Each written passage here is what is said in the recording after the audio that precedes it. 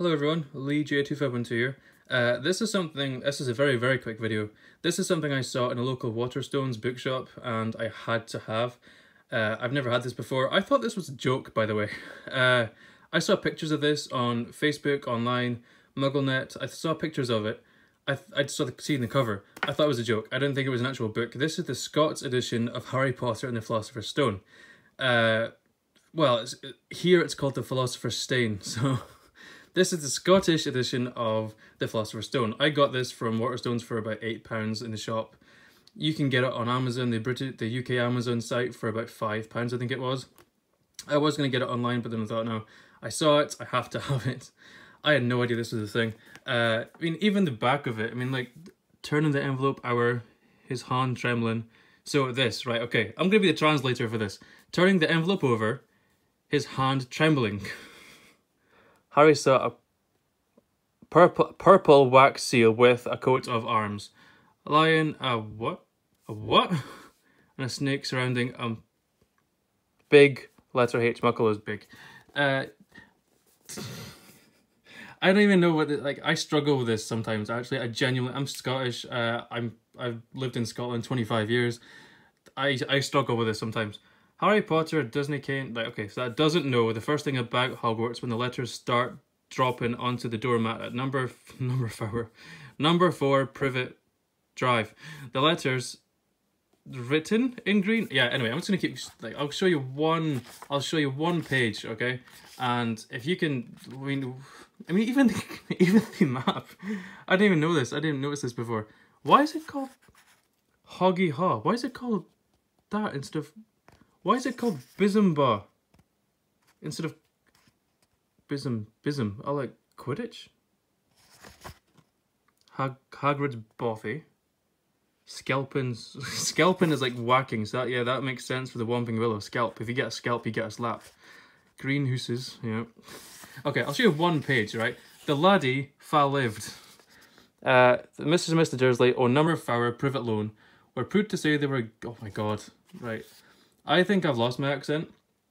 Uh, anytime anyone mentions it to me, they say, "Oh, you've turned right posh. You've really kind of lost your Scottish accent." But then people that don't live in Scotland are like, "You sound so Scottish." So I don't know what the hell. I don't, know what I'm going for. Uh, they were the last folk you would. I don't even know. What and it, on it, yeah. Skip the next. I mean, if I if I showed this to my mum, she would know every page. She would know every word. But me, no. I had a lot of English friends when I was young, uh, and so I kind of lost my accent pretty quickly. I think just I think the funny thing I the funniest thing I saw in this was um someone was shouting Harry and Harry just went what like that. Weast yelled, yelled Uncle Vern. Weast is just be quiet in Scottish. If you get if you tell someone to weast, you're just telling them to shut up. Uh, yeah, this is just insane. The Potions Maester from Game of Thrones now. Uh, yeah. Cauldron. This is just insane. The Squinty Gate. Is that is that the same name as the chap other the normal chapter? What? Hang on, hang on, hang on. Albus Dumbiedykes in front of me.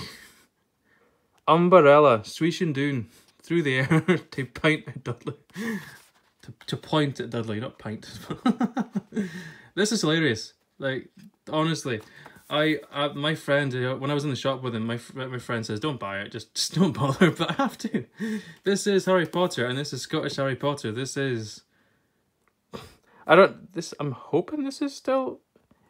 Oh, hang on, itchyq.com. Is that... I need to find that out. I need to find out if this has been published by... Okay, it's Itchy Coo. So I'm not sure if this is published by Bloomsbury. It's not. Like, it's... But I'm guessing they got permission from someone to do this. Uh, this is a nice collector's thing, to be honest. It's very, very cool. Um, oh my god.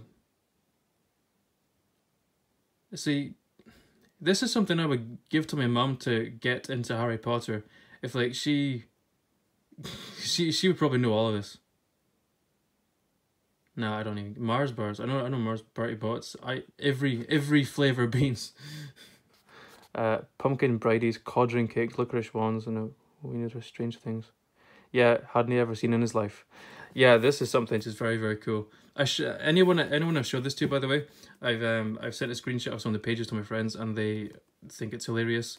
They want one, and yeah, I put this up on Twitter as well, and it's just everyone's like, I need this in my life. Uh, get it if you can get it if you want to it's a nice nice collector's thing i don't think it's like what edition is it no uh reprinted in 2017 oh so it's quite old then. Yeah. First published in scots by Itchy Coo is an imprint and trademark of james francis robertson and matthew fitt under license by black and white publishing. Okay right. So they obviously had permission to do this from Blum- Bloomsbury. Um, yeah, printed and bound in Denmark. For a glossary, you get a glossary. For a glossary and guide to the Scots language used in this book, please visit www.itchy no hyphen ku.com. yeah, just even the chapters names. The glass that disappear. Glass. The letters for nobody from nobody.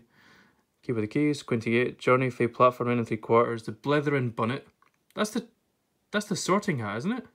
The blethering bonnet. Blethering means like chatty if you're talking quite a bit. Minnich Duel. yeah, Bizenball. I'm guessing that's Quidditch. Because it said that the map. Anyway. Yeah, the Keegan Glass Erised. Oh my god. Yeah, uh, that's the so this is that the man with twelve faces. So this is that. If you want to go for it, go for it. It's very very funny. Uh, if you're not from Scotland, even if you're from Scotland, I'm from Scotland, and I struggle with this quite a bit. Uh, if you're not Scottish, you might not understand the majority of it. For well, here we go. For Sica Ken Specklepub, it was a bit of a cope. A bit, a bit of a cope is a bit of a mess, maybe I don't know. Yeah, I, I think I'm not even sure what dialect this is from. I think it's Doric dialect from Scottish, but it could it could as well be from like Glas it could be Glaswegian, anything, I don't know. So yeah, there we go. Excellent. Uh, that's it for me. I will see you guys later. Bye.